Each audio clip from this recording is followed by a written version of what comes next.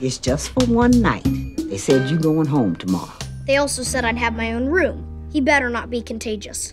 He's not. Are you sure? Should we ask his doctor? You just asked me and I said no. But you're not a doctor. Your career stalled at nurse. Okay, listen. I done put up with your nonsense long enough, and it ends now. That boy is your roommate. That's the situation, and you gonna make the best of it. You get my drift?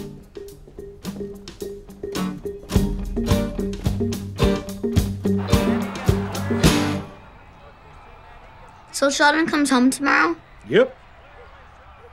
Everybody's thinking it, so I'm gonna say it. This has been a nice break.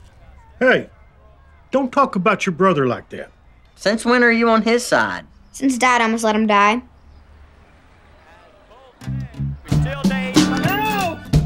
Unbelievable. It's either cartoons or men in their underwear banging their heads together. You complain a lot. Excuse me? Seriously, dude, you need to relax. How can I relax? I'm being held captive in a bacterial playground. Why are you here? I had to have my gallbladder removed. Why are you here? I'm having surgery tomorrow. How come? I was born with a hole in my heart. My mom says everyone is born with a Jesus shaped hole in their heart, but I'm guessing this is different. Yeah, they're gonna put a patch on it. And then it just stays there forever? Yeah. Like a band-aid you never have to pull off. That's great because that's the worst thing about band aids. They may have removed my gallbladder, but not my wicked sense of humor.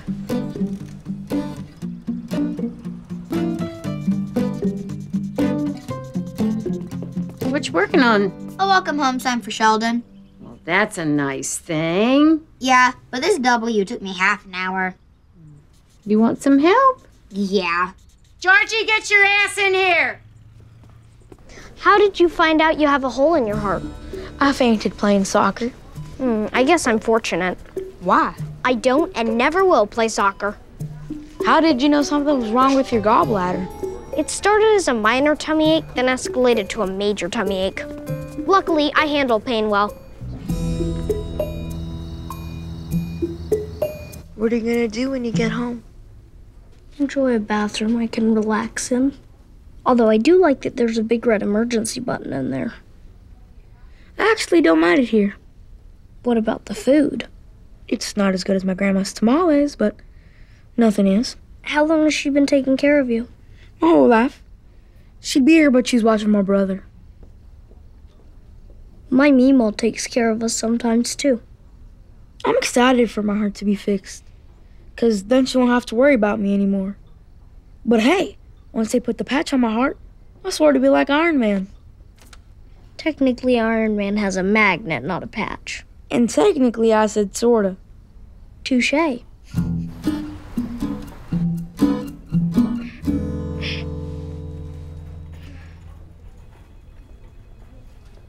Where'd he go? Where's Ricky? He's in surgery. Oh.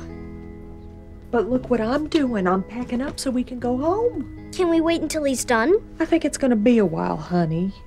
But why don't we get a move on and then we can check on him later? Okay.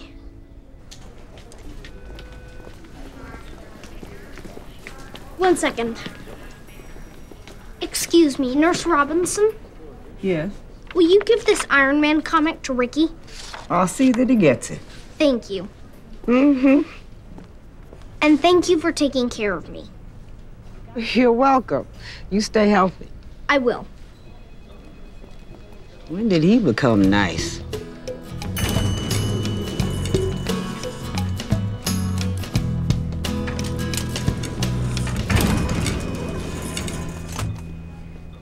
Uh, I'll get the next one.